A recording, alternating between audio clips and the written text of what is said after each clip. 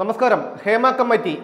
ചലച്ചിത്ര രംഗത്തെ സ്ത്രീകളുമായും അവരുടെ തൊഴിൽ സാഹചര്യങ്ങളുമായും ബന്ധപ്പെട്ട പ്രശ്നങ്ങൾ പഠിച്ച് പരിഹാരം കണ്ടെത്താൻ സർക്കാർ നിയോഗിച്ച മൂന്നംഗ സമിതി. ഹേമ കമ്മിറ്റി ചലച്ചിത്ര രംഗത്തെ സ്ത്രീകളുടെ വിഷയങ്ങൾ കണ്ടെത്തി പഠിച്ചു. ചില പരിഹാരങ്ങളും നിർദ്ദേശിച്ചിട്ടുണ്ട്?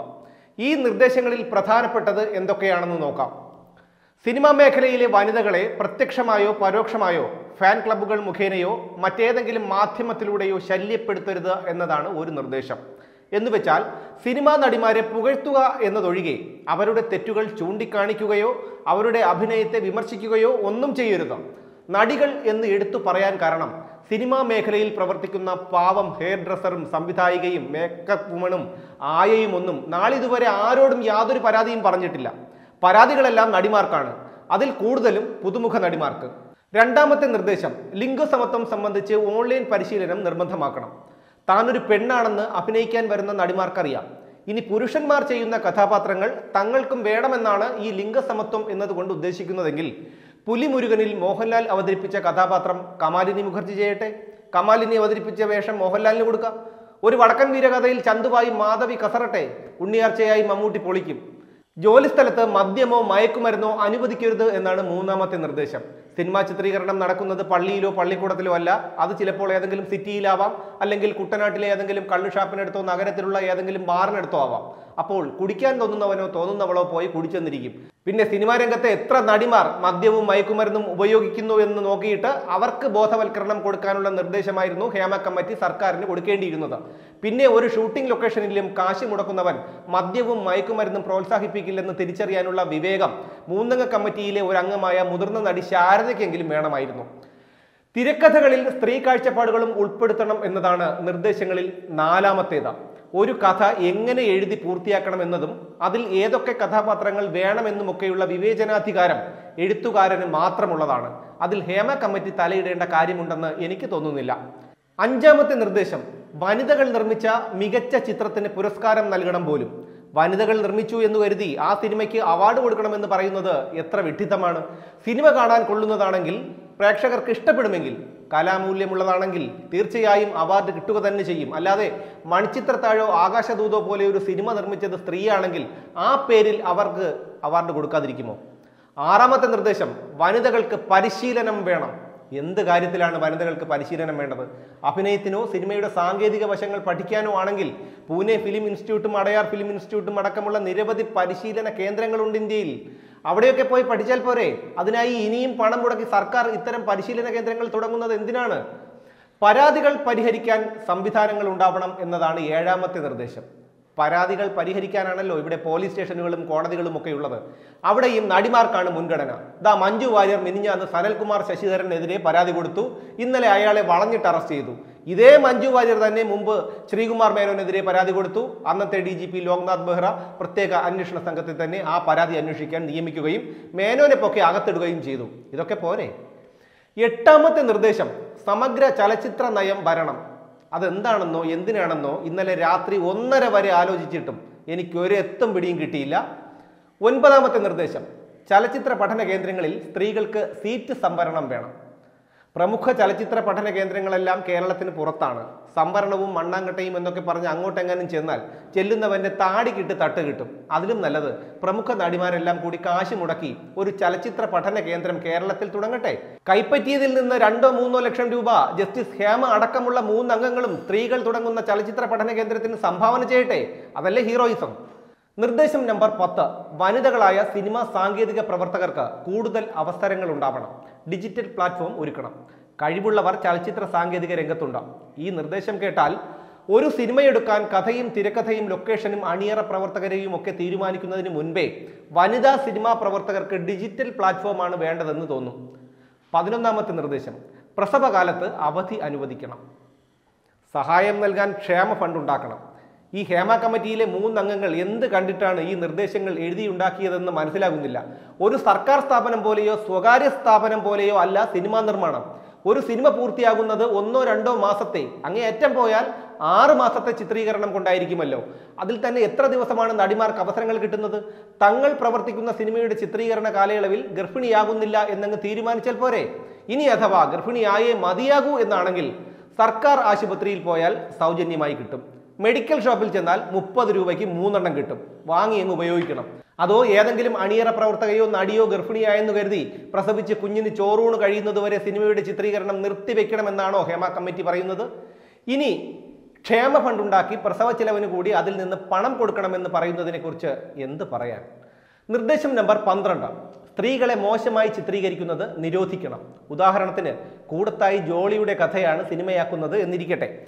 സിനിമയിൽ ജോളി മാന്യയും കുലീനയും ആയിരിക്കണം. മാത്രമല്ല കൊലപാതകങ്ങൾ ചെയ്യുന്നത് ജോളിയുടെ ഭർത്താവായിക്കോട്ടെ. അതാകുമ്പോൾ പുരുഷനാണല്ലോ എന്തുമാകാം?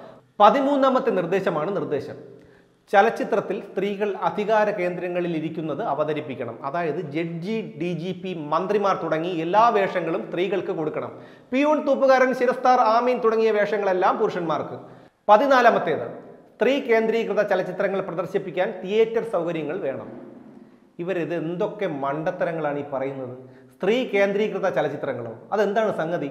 പല സിനിമകളിലും പുരുഷ കഥാപാത്രത്തെക്കാൾ സ്ത്രീ കഥാപാത്രങ്ങൾ മുന്നിട്ട് നിൽക്കുന്നുണ്ട്. ഇനി അതാണോ ഉദ്ദേശിച്ചത് എന്ന് എനിക്കറിയില്ല പ്രേക്ഷകർക്ക് ഇഷ്ടപ്പെടുന്ന സിനിമയാണെങ്കിൽ തിയേറ്ററിൽ ഓടും. അല്ലാതെ പുതുമുഖ നടി കുപ്പക്കുഴി രാജമ്മ അഭിനയിച്ച സിനിമയാണ് എന്നൊന്നും പറഞ്ഞാൽ ഒരു പട്ടി പോലും തിയേറ്ററിന്റെ പരിസരത്ത് കൂടി പോകില്ല. പതിനഞ്ചാമത്തെ നിർദ്ദേശം. പൗരുഷവും സ്ത്രീത്വവും സംബന്ധിച്ച് പുനർവ്യാഖ്യാനങ്ങൾ വേണം. ഇതിലും എനിക്കൊന്നും മനസ്സിലായില്ല. ചലച്ചിത്രവുമായി ബന്ധപ്പെട്ട് മതിയായ തരത്തിലുള്ള കരാർ സംവിധാനം ഉണ്ടാക്കണം എന്നതാണ് പതിനാറാമത്തെ നിർദ്ദേശം. നടിമാരൊക്കെ കരാറിന്റെ അടിസ്ഥാനത്തിൽ അഡ്വാൻസ് വാങ്ങുകയും അവരുടെ ഭക്ഷണവും താമസവും അടക്കം നിർമ്മാതാവിൽ നിന്ന് ഈടാക്കുകയും ചെയ്യുകയാണ് പതിവ്. ഇക്കണക്കിന് പോയാൽ ഈ ചിത്രത്തിന് ശേഷം ഇവരുടെ അടുത്ത ചിത്രത്തിൽ അവസരം കിട്ടിയില്ലെങ്കിലോ മറ്റെന്തെങ്കിലും കാരണത്താലോ ഞങ്ങൾ ഈ സിനിമയുമായി ബന്ധപ്പെട്ട ഒരു അണിയറ പ്രവർത്തകർക്കെതിരെയും യാതൊരു തരത്തിലുള്ള ലൈംഗികാരോപണവും ഉന്നയിക്കുന്നതല്ല എന്ന് നടിമാരുമായി കരാറുണ്ടാക്കേണ്ടത് നിർമ്മാതാക്കളും സംവിധായകരുമൊക്കെയാണ്. നിർദ്ദേശം നമ്പർ പതിനേഴ്. Kerala cine employees and employees act നടപ്പിലാക്കണം. ഈ ആക്ടിനെ കുറിച്ച് ഞാൻ സിനിമാ മേഖലയിലുള്ള പലരോടും ചോദിച്ചു. അവർക്കാർക്കും അറിയില്ല ഈ സംഗതി എന്താണെന്ന്. ചിലപ്പോൾ അവരുടെ അജ്ഞത കൊണ്ടായിരിക്കാം. ക്ഷമിക്കുക. പതിനെട്ടാമത്തെ നിർദ്ദേശം എന്താണെന്ന് വെച്ചാൽ വീഴ്ചകൾക്ക് പിഴ ചുമത്തണം. ശരി ശരി. ഈ വീഴ്ചകൾക്ക് പിഴ ചുമത്താൻ പോയാൽ പീഡന പരാതികൾ ഇനിയും കൂടും. കാരണം അടുത്ത സിനിമയിൽ അവസരം കൊടുത്തില്ലെങ്കിലും വ്യക്തിപരമായ മറ്റെന്തെങ്കിലും തർക്കത്തിന്റെ പേരിലും മാത്രമേ ഇപ്പോൾ പീഡന പരാതികൾ പലരും കൊടുക്കുന്നുള്ളൂ. വീഴ്ചകൾക്ക് പിഴ ചുമത്താൻ തുടങ്ങിയാൽ കേരള പോലീസിന് പണിയും കൂടും കോടതിയുടെ സമയവും മെനക്കെടും. കുറെ നിർമ്മാതാക്കളുടെയും സംവിധായകരുടെയും ജീവിതവും കട്ടപ്പുകയാകും പത്തൊൻപതാം നിർദ്ദേശം സഹസംവിധായകർക്ക് കുറഞ്ഞ കൂലി നിരാകരിക്കരുത്. അസോസിയേറ്റ് ഡയറക്ടറും അസിസ്റ്റന്റ് ഡയറക്ടറും ഉൾപ്പെടെയുള്ളവർക്ക് ദിനബത്ത വേണം. നോക്കൂ ഒരു സിനിമ നിർമ്മിക്കുമ്പോൾ അതിന്റെ നിർമ്മാതാവ് കുറച്ചു ദിവസമെങ്കിലും കുറേ പേർക്ക് തൊഴിൽ നൽകുകയാണ്. ഓരോരുത്തരുടെയും കഴിവിനും പദവിക്കും അനുസരിച്ചുള്ള കൂലി ഇപ്പോൾ തന്നെ സിനിമയിലുണ്ട്. ഒരാളെയും ഒരു നിർമ്മാതാവും വീട്ടിൽ ചെന്ന് ബലമായി പിടിച്ചിറക്കി കൊണ്ടുവന്നിട്ട് നിങ്ങൾ എന്റെ സിനിമയിൽ അസോസിയേറ്റ് ഡയറക്ടർ ആവണം അല്ലെങ്കിൽ അസിസ്റ്റന്റ് ഡയറക്ടർ ആവണം എന്ന് പറഞ്ഞു കേട്ടിട്ടില്ല. ഓരോ നിർമ്മാതാക്കളുടെയും സംവിധായകരുടെയും ഒക്കെ പിന്നാലെ നടന്ന് കാൽ പിടിച്ചിട്ടാണ് പലരും അസിസ്റ്റന്റ് ഡയറക്ടർമാരിൽ ഒരാളായിട്ടെങ്കിലും കയറി പറ്റുന്നത്. ഇന്നത്തെയും മൺമറഞ്ഞു പോയവരുമായ പല സംവിധായകരും ഇത്തരത്തിൽ സിനിമയിൽ വന്ന് അവരുടെ കഴിവ് തെളിയിച്ചവരാണ്. ഓരോരുത്തർക്കും ആ സിനിമയുടെ ബഡ്ജറ്റിനനുസരിച്ചുള്ള അല്ലെങ്കിൽ അവരവരുടെ കഴിവിനനുസരിച്ചുള്ള കൂലി കൊടുക്കുന്നുണ്ടാവും അല്ലാതെ പിന്നണിയിൽ പ്രവർത്തിക്കുന്ന എല്ലാവർക്കും അണ്ടർവെയർ വരെ നിർമ്മാതാവ് വാങ്ങിക്കൊടുക്കണമെന്ന് പറയുന്നത് ന്യായീകരിക്കാവുന്നതല്ല. ഇരുപതാമത്തെ നിർദ്ദേശം കേശാലങ്കാര വിദഗ്ധരെ ചീഫ് ടെക്നീഷ്യന്മാരെന്ന പദവിയിലാക്കണം. ചീഫ് ടെക്നീഷ്യന്മാരാക്കേണ്ട ടൈറ്റിൽ കാർഡിന്റെ ഏറ്റവും ഒടുവിൽ വെണ്ടയ്ക്ക വലിപ്പത്തിൽ കേശാലങ്കാര വിദഗ്ധരുടെ പേര് എഴുതി കാണിക്കാം. പോരെ. ഏതെങ്കിലുമൊക്കെ സിനിമയിൽ കിട്ടുന്ന അവസരങ്ങൾ കൂടി ഇല്ലാതാക്കുകയാണ് ഈ കമ്മിറ്റി. ഇതിൽ കൂടുതൽ എന്ത് പറയാൻ? നിർദ്ദേശം നമ്പർ ഇരുപത്തിയൊന്ന്. സ്ത്രീകളുടെ സിനിമയ്ക്കായി ആനുകൂല്യം നൽകാൻ ബഡ്ജറ്റിൽ തുക നീക്കി വെക്കണം കൊള്ളാം. അതിനു മുമ്പ് നമുക്ക് രണ്ട് മൂന്ന് കൊല്ലം പിന്നോട്ട് പോകാം. രണ്ടായിരത്തി പതിനെട്ട് പത്തൊൻപതിലാണെന്നാണ് എന്റെ ഓർമ്മ. ഓരോ വർഷവും ഓരോ വനിതയ്ക്കും ഒരു പട്ടികജാതി വനിതയ്ക്കും സിനിമ നിർമ്മിക്കാൻ K S F D C അതായത് Kerala state film development corporation ഒന്നര കോടി രൂപ വീതം കൊടുത്തു. രണ്ടു പേർക്കും കൂടി മൂന്ന് കോടി. അങ്ങനെ രണ്ട് വർഷം കൊടുത്തു മൊത്തം ആറ് കോടി. ഈ ആറ് കോടി സർക്കാരിന്റെ ഖജനാവിൽ നിന്ന് തുലച്ചിട്ട് ആ സിനിമ പുറത്തിറങ്ങിയോ എന്ന് ഹേമ കമ്മിറ്റി ഒന്ന് അന്വേഷിക്കണം. എന്നിട്ട് പോരെ സ്ത്രീകളുടെ സിനിമയ്ക്കായി പൊതുജനങ്ങളുടെ നികുതിപ്പണം നീക്കി വെക്കുന്നത് കഷ്ടം പരമകഷ്ടം. പതിനായിരക്കണക്കിന് ആളുകൾ പത്തെഴുപത് കൊല്ലമായി ജീവിച്ചു പോകുന്ന മേഖലയാണ് സിനിമാ മേഖല. ഇത്തിൽ കണ്ണികൾ പോലെ മുളച്ചു പൊന്തിയ കുറെ പുതുമുഖ നടികൾ രംഗത്ത് എന്ന് വന്നോ അന്ന് തുടങ്ങി മലയാള സിനിമയുടെ കഷ്ടകാലം. എല്ലാ മേഖലയെയും പോലെയുള്ള പ്രശ്നങ്ങൾ സിനിമയിലും ഉണ്ടാകും. ജീവിക്കാൻ ഗത്യന്തരമില്ലാതെയല്ല ഒരു നടിയും അഭിനയ രംഗത്തേക്ക് ഇറങ്ങുന്നത്. ചുരുങ്ങിയ കാലം കൊണ്ട് പണവും പ്രശസ്തിയും സമ്പാദിക്കണം. പിന്നെ ഏതെങ്കിലും ഒരു അമേരിക്കൻ മലയാളി കോടീശ്വരനെ കല്യാണം കഴിച്ച് അമേരിക്കയിലേക്ക് പോകണം. രണ്ട് പിള്ളേരെ പെറ്റിട്ട് അയാളുമായി അടിച്ചു പിരിഞ്ഞ് വീണ്ടും നാട്ടിൽ വന്ന് സിനിമയിൽ സജീവമാകണം. വെള്ളി വെളിച്ചത്തിൽ പാറിപ്പറന്ന് നടന്നവർക്ക് കുടുംബവും കുട്ടികളുമൊന്നും ദഹിക്കില്ല. ഈ രീതിയാണ് മലയാള സിനിമയിൽ ഇതുവരെ കണ്ടിട്ടുള്ളത്. കശുവണ്ടി മേഖലയിലെയും കയർ മേഖലയിലെയും തൊഴിൽ നിയമം സിനിമയിൽ പ്രാവർത്തികമാക്കണമെന്ന് പറഞ്ഞാൽ എന്തൊരു മണ്ടത്തരമാണ്. ഒരു സിനിമയിൽ അഭിനയിക്കാനെത്തുന്ന നടിമാർക്ക് അഞ്ചോ പത്തോ ദിവസം മാത്രമേ ജോലി ഉണ്ടാകൂ അവരുടെ പ്രസവ ചെലവ് വരെ നിർമ്മാതാവ് ഏറ്റെടുക്കണമെന്ന് പറഞ്ഞാൽ ബാക്കി പറയുന്നില്ല. പറഞ്ഞാൽ ചിലപ്പോൾ സ്ത്രീ വിരുദ്ധൻ എന്ന് പറഞ്ഞ് പിണറായി പോലീസ് പിടിച്ച് അകത്തിടും. നിശബ്ദ ചിത്രത്തിൽ തുടങ്ങി ശബ്ദ ചിത്രമായി. ബ്ലാക്ക് ആൻഡ് വൈറ്റിൽ തുടങ്ങി കളറായി. സിനിമാസ്കോപ്പായി സെവന്റി എം എം ആയി ത്രീ ഡി ആയി. ഡിജിറ്റൽ ആയതിനു ശേഷം സിനിമാ രംഗത്ത് അനന്ത സാധ്യതകളാണുള്ളത്. ഇതൊക്കെ ഉപയോഗിക്കുന്നതിനു പകരം അവനെന്നെ പീഡിപ്പിച്ച് ഇവനെന്റെ ആസനത്തിൽ തുപ്പിയെ എന്നൊക്കെ വിളിച്ചുകാരി നടക്കുന്നവരെ സിനിമാ മേഖലയിൽ നിന്ന് ചവിട്ടി പുറത്താക്കണം. ഇത്തരക്കാരെ മാത്രമല്ല ഉച്ചിയിൽ കണ്ണട വെച്ച അക്കന്മാരെയും എങ്കിൽ മാത്രമേ മലയാള സിനിമ ഗതി പിടിക്കൂ. ഒരു കാര്യം കൂടി ഹേമ കമ്മിറ്റിക്ക് വേണ്ടി പൊതുഖജനാവിൽ നിന്ന് മുടക്കിയ രണ്ട് കോടിയോളം രൂപ കുതാഹവ. മനസ്സിലായില്ലേ? അതുതന്നെ പലരുടെയും പള്ളയിൽ പോയി ആ രണ്ട് കോടി രൂപ.